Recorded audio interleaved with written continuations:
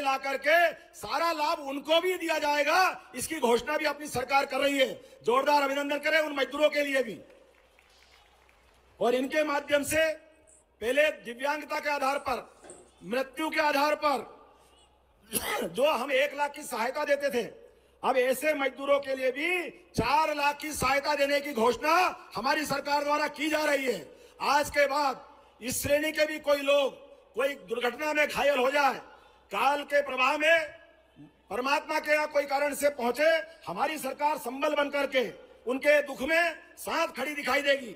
मैं आज के अवसर पर, चूँकि हम यहाँ बात कर रहे हैं मजदूरों की तो 50 प्रतिशत लागत पर ई स्कूटर कोई मजदूर खरीदेगा, उसको भी चालीस हज़ार तक की निशुल्क मदद करने की घोषणा हमारी सरकार करती है।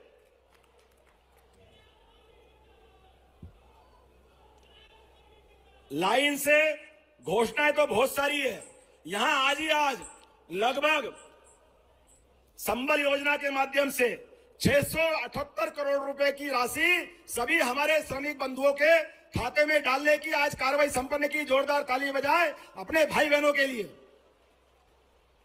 विभिन्न विभागों के इकतीस दशमलव बासठ करोड़ के दो सौ सत्तावन विकास कार्यों की भी यहीं पर लोकार्पण करने की कार्रवाई की गई है।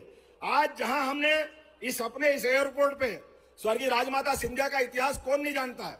स्वर्गीय महाराज माधवराव सिंधिया को कौन नहीं जानता है?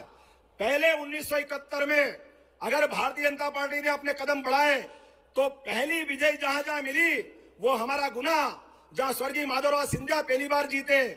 भिंड स्वर्गीय राजमाता सिंधिया जी जीती और ग्वालियर स्वर्गीय भारत रत्न अटल बिहारी वाजपेयी ने जनसंघ का झंडा फहराया था। ग्वालियर की धरती, वो अद्वितीय धरती है, जिसके आधार पर भारतीय जनता पार्टी ने, जैसे एयरपोर्ट धीरे धीरे बढ़ रहा है, ऐसे भारतीय जनता पार्टी जनसंघ के जमाने से धीरे धीरे जब बढ़ने लगी तो सबसे पहले आश्रय जहाँ मिला, ऐसी स्वर्गीय राजमाता सिंधिया जी का आश्रय मिला। जोरदार तालियाँ बजाए हमारी अपनी राजमाता के लिए।